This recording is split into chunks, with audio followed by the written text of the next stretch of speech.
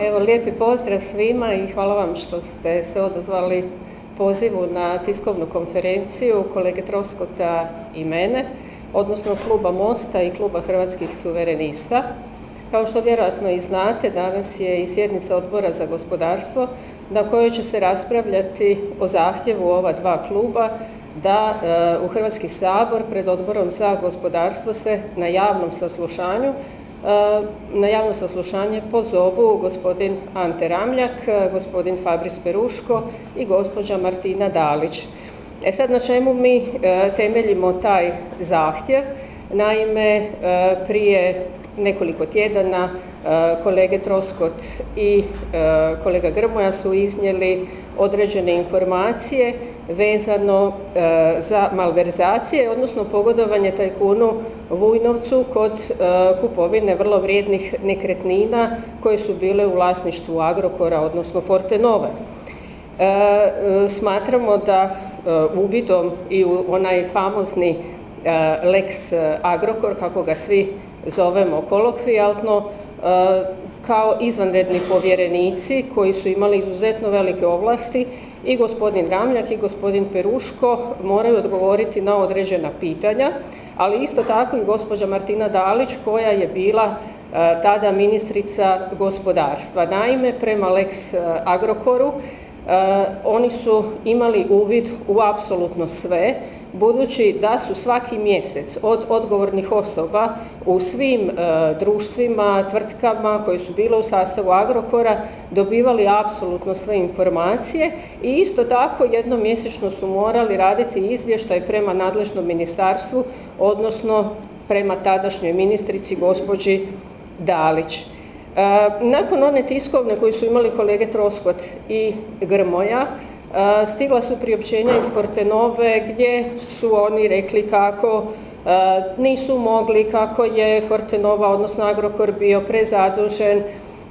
kako u principu se nisu smjeli dodatno izlagati i tako dalje.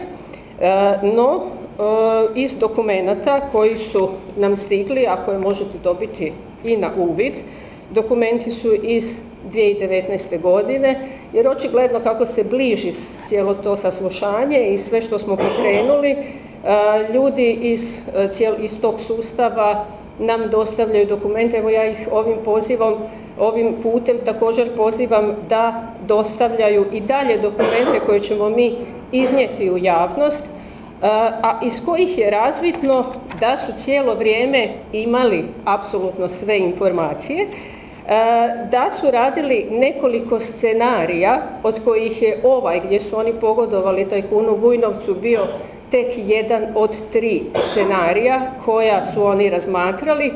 a prvi je bio i to da e, Agrokor, odnosno Fortenova, otkupi e,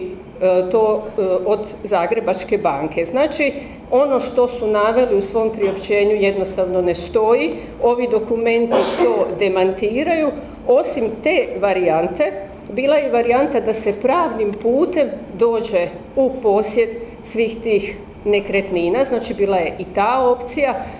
Na kraju su izabrali opciju koja je bila najpovoljnija ne za Fortenovu, ne za Agrokor, nego ne za građane Republike Hrvatske u konačnici nego za tajkuna Vujnovca. Iz ovih dokumenata jasno se vidi, ovdje su znači e, točni e, izračuni, e, projekcije, što bi bilo kad bi bilo, znači razmatrale su se sve opcije, a u konačnici očigledno ona koja je bila najpovoljnija za Vujnovca je odabrana. E sad ako to nije pogodovanje onda uistinu ne znam što je. Ja se evo toplo nadam da će e, danas na odboru za gospodarstvo i ostali članova, članovi odbora uvidjeti i nakon uvida u ove dokumente koje smo dobili, e,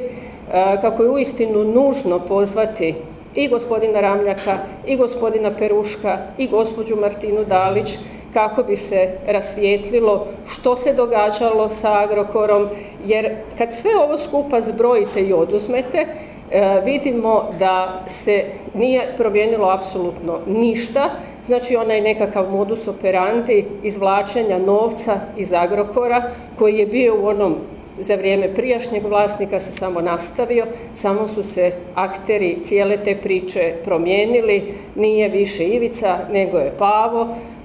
nije više XY firma nego je neka druga, znači samo smo zamijenili